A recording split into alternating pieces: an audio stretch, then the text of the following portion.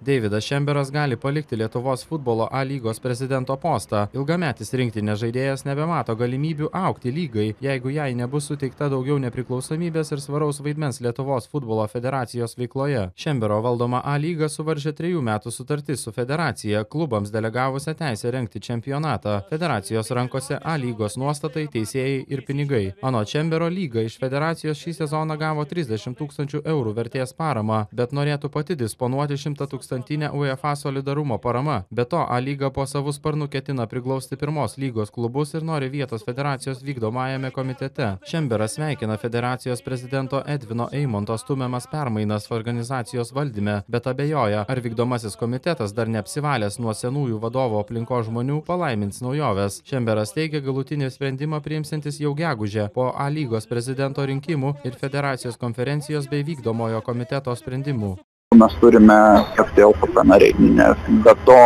mes realiai, jeigu taip paprastai pavadinti, esame niekas šiai dienai sutartimi organizuojame lygos pirmenybės. Noriu, kad, kad klubai būtų nepriklausomi, autonomiški, turėtų daugiau galių daryti savo sprendimams. Viskas yra atsispiria nuo finansinių resursų. Šiai lygai, tokiu lygos biudžetu, pasakysiu atvirai, nematau galimybę lygai vystyti. Norisi, kad lyga kitaip vystytųsi, bet ar mes pajėgus tai įgyvendinti patys mes visų pirma, man kelia didelių abejonių.